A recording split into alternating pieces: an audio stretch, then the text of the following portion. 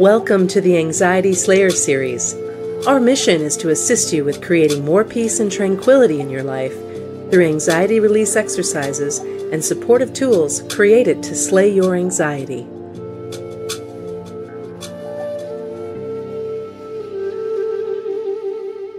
Today's Anxiety Slayer podcast is brought to you by the Anxiety Slayer Academy.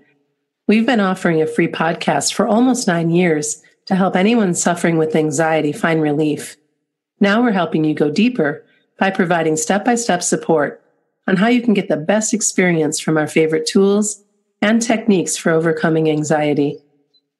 Visit the Anxiety Slayer Academy and get your free Anxiety Slayer starter course at anxietyslayer.teachable.com. Welcome back to Anxiety Slayer. I'm Shann Vanderleek, here today with my wonderful friend and co host, Ananga Sivyer. We come together weekly from Kent and Leelanau to share Anxiety Slayer sessions with you and answer listener questions from our inbox and Facebook page. Together, we share a powerful collection of techniques to reduce anxiety. In this week's podcast, we'll be talking about how to calm anxiety when it strikes at night. Welcome back, Ananga. It's good to be with you again for another episode of Anxiety Slayer.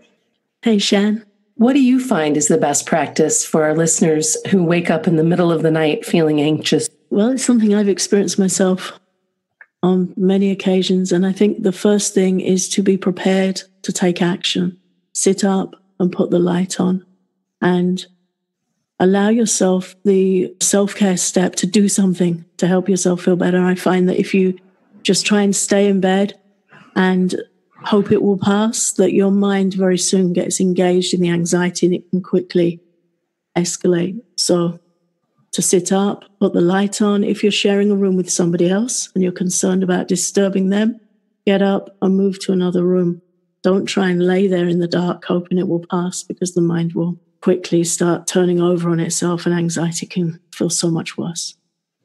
Without question, the, the times that I didn't know to get up and change things up are the times I suffered the most mm-hmm. at night, for sure.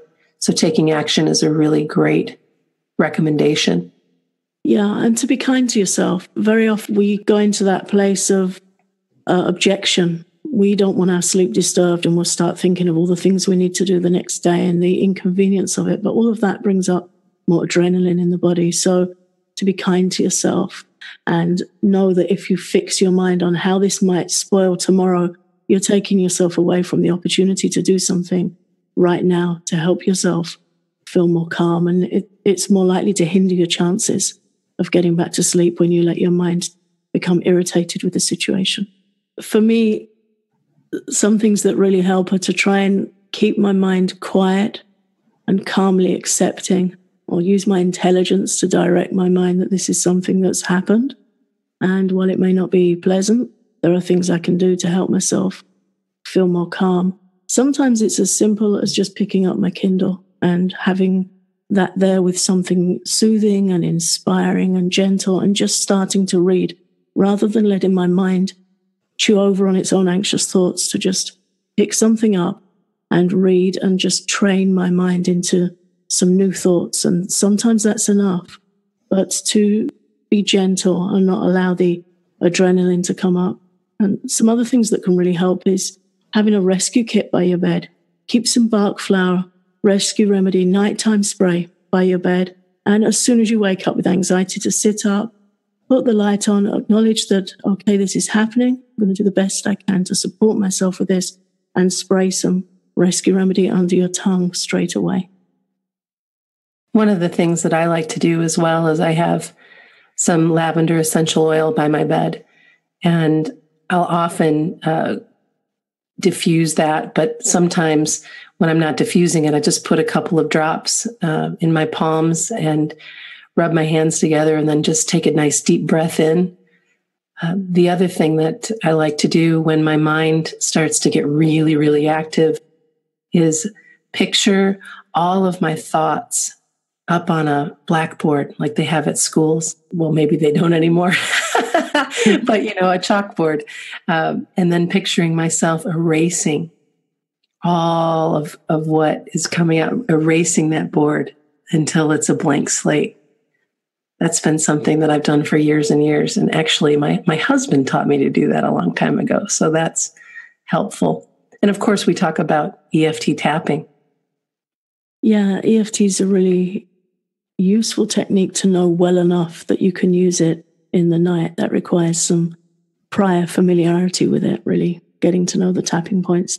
And it's really helpful to just sit up or remove yourself to another room and just start tapping the EFT points through, taking steady breaths while tuned in to the sensations in your body or the, the thoughts in your mind. And at first, it might feel challenging because you're allowing yourself to lean into the anxiety, but that is the way. It's the way through and out is to acknowledge and, and lean in and, and support yourself. But after a couple of minutes of tapping, you'll feel the symptoms start to subside and your mind and body start to relax. And although it feels like you're taking yourself away from bed and being up, which is not what you want to do, it really is the quickest way to address the anxiety and help you settle and get back to sleep again. In our new first responder series course on stopping anxiety attacks, we have a beautiful recorded seven minute SOS guided tapping session that will walk you through and talk you through how to tap and feel calm and relaxed again. And the course isn't available yet, but it will be available soon. But in the meantime, you can follow a guided tapping session in our free Anxiety Slayer starter course, which you can get at anxietyslayer.com or at anxietyslayer.teachable.com. The other remedy or uh, recommendation that we have is the almond milk drink that Ananga and I both enjoy get up and make an almond milk drink with some warm almond milk and maybe a little bit of nutmeg, pinch of nutmeg to help you get calm and relaxed and fall back to sleep. It's incredibly good for your body and, and for your mind. Yeah, almonds are so good for your nervous system. Nutmeg is a natural sedative. And if you feel that, you know, that may be a commitment in putting fluids in your body and you're going to have to get up again in the night, just make a small cup, just a small cup and sip it put some rescue remedy in there or spray some rescue remedy into your mouth as well. Then you're using natural remedies along with the techniques like tapping, breathing, gentle reading to help yourself settle back down. And for further support getting back to sleep, you might even choose to curl up and listen to a guided relaxation or even practicing the long exhale. Yeah, that's one of my absolute favorites. Um, if I'm going through a particularly stressful time, very often in the morning, my mind will wake me up and it wants to ask me, what about this? What about that? Things that in the day I can be fairly calm and resourceful about, but around 4 a.m., 3 a.m., it's going to wake me up and, and not put a very good uh, light on such concerns. And one of my favorite things to do, and I did this just the other day, is I have some very comfortable earphones, soft ones that I can lay down on my side without them digging into my head and a little MP3 player. And to just put that on and listen to a nice calming guided breathing practice, guided body scan. That's one of my favorite things to do. Uh, in this instance, I listened to Tara Brach because if I listen to our unguided meditations, I'm going to start critiquing them. so listen to somebody else. So Tara Brach has a very nice soothing presence. And I just have a playlist of several of her um, meditations on my MP3 player, and I just let them roll, curl up, put them on really quiet, and follow along. And very soon I'll drift off to sleep. And at a certain point, they kind of wake me up a bit, and then I'll doze off again. And then it's time to take the earphones out mm-hmm. And just settle down. But that really helps me. So, to wrap things up today, it's important to have an anxiety rescue kit by your bed. And we recommend that you have some rescue remedy. Uh, there's a nighttime version that you can get. Lavender essential oil is, is another good thing to have in your kit. And then, of course, your audio player, maybe something to read. And as Ananga mentioned, some soft and, and comfortable earphones as well. If you're one of our listeners who wakes up in the middle of the night feeling anxious and distraught, we hope that this podcast has been helpful for you. And we recommend that you listen again and again until you find yourself in a place where you can know exactly what you need to do when you're in that situation and know that you have everything you need to move forward and get a good night's rest. Get everything you need to start slaying your anxiety today. Visit anxietyslayer.teachable.com to claim our free Anxiety Slayer starter course. You get four guided sessions, including an EFT tapping session, guided breathing practice, and special module on overcoming the fear of anxiety. Don't just listen to the Anxiety Slayer podcast. Become an Anxiety Slayer. Claim your free Anxiety Slayer starter course at anxietyslayer.teachable.com.